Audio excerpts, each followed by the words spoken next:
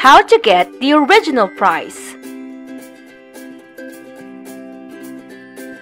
Good day students! Welcome back to my classroom.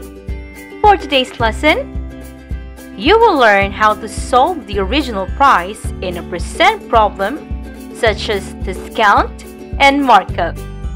Let us begin! Let's try our first example. Leo bought a dress marked at a 20% discount. If the discount was 90 pesos, what was the original price of the dress? Hmm. But what is original price? Original price or amount is the amount or price before reductions or additional amount were made. Now let's go back and solve our problem. As we can see, this is an example of discount problem. To solve for the original price in the discount problem, we just simply need to divide the discount by the discount rate. Here, the discount is 90 pesos, while the discount rate is 20%. Therefore, we need to divide 90 pesos by 20%. But before we can divide this, we need to change the percent into decimal. To change the percent into decimal, change the percent sign into decimal point, and then move it two times to the left. There! Now we have 90 divided by 0.20. Now let's divide. Remember, before we can divide decimals, we need to make sure that the divisor is the whole number. Let us move the decimal point to the most right.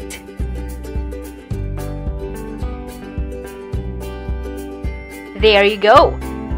Since we move two times in the divisor, we also need to move the decimal point in the dividend two times to the right. One, two. And let's put zeros to the empty place values. There you go. Now let us divide 9,000 by 20.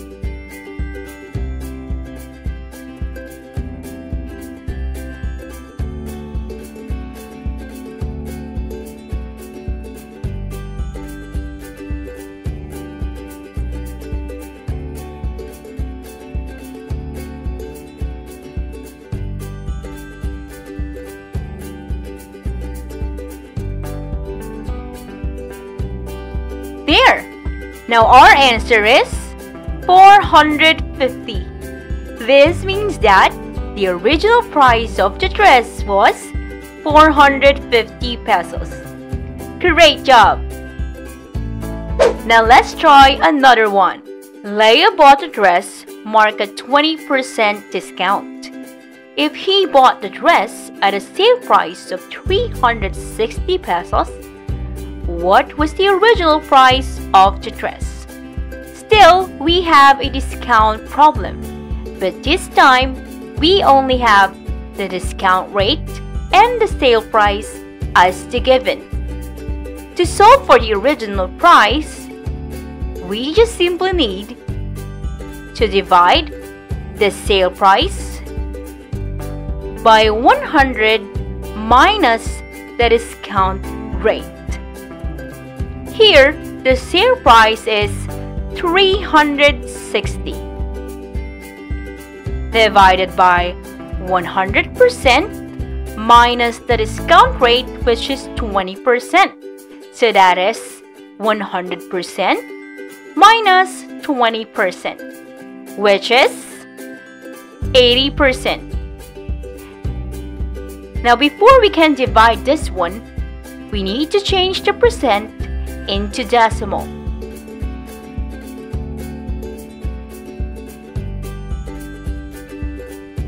There you go. Now let us divide 360 by 0.80. Again, we need to make sure that divisor should be a whole number. So let us move to decimal point.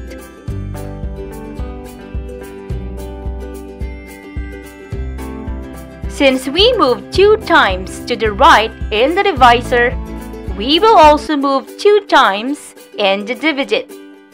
Let us count. 1, 2. And don't forget to put zeros. There you go. Now let us divide 36,000 by 80.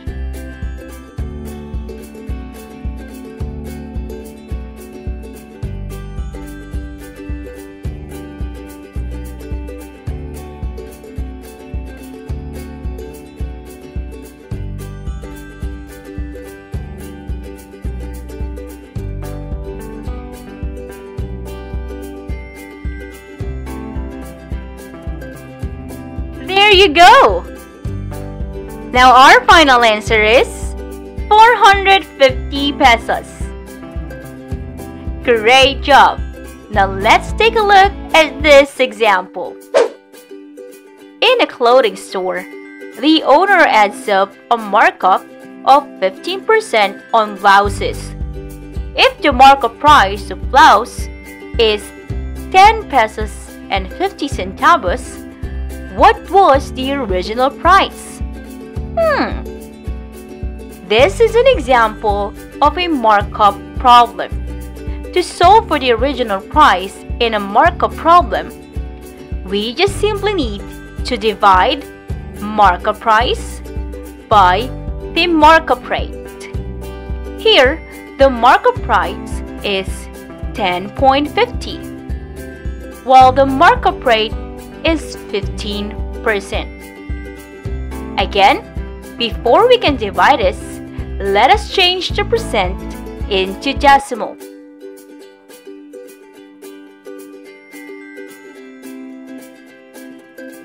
There.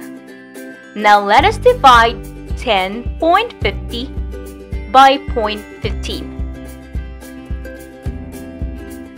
Again, before we can divide this one, we need to make sure that the divisor is the whole number. So let us move to decimal point. Since we moved 2 times here, let us move 2 times in the dividend. There you go. Now let us divide 1050 by 15.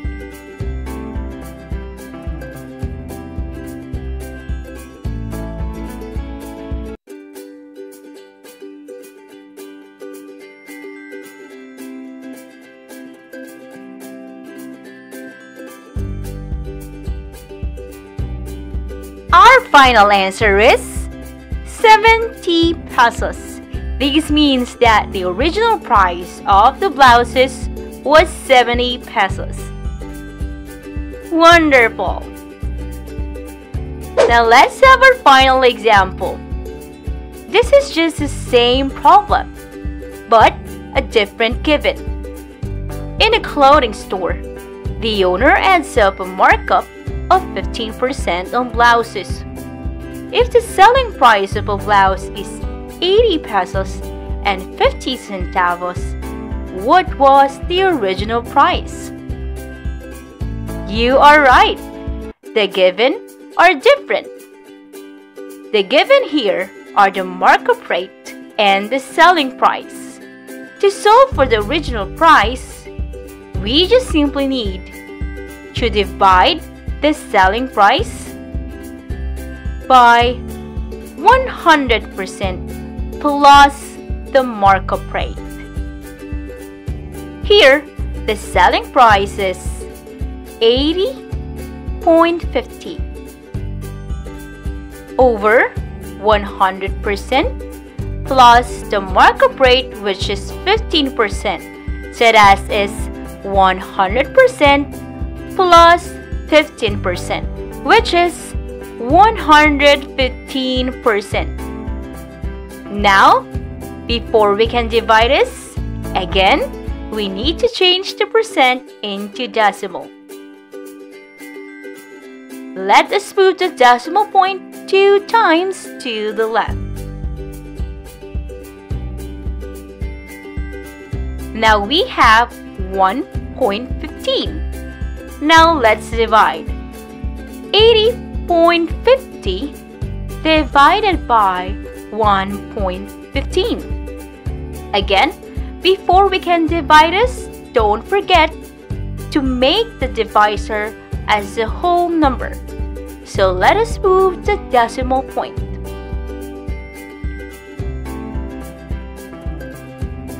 Since we moved 2 times in the divisor, let us move 2 times as well in the dividend. Now it's dividing time. 8050 divided by 115.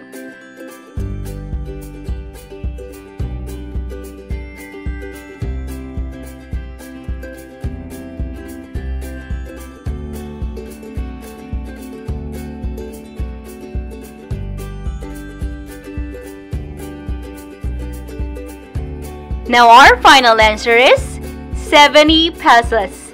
This means that the original price was 70 pesos. Awesome! Now great job students, you made it! Here are the things that you learned today.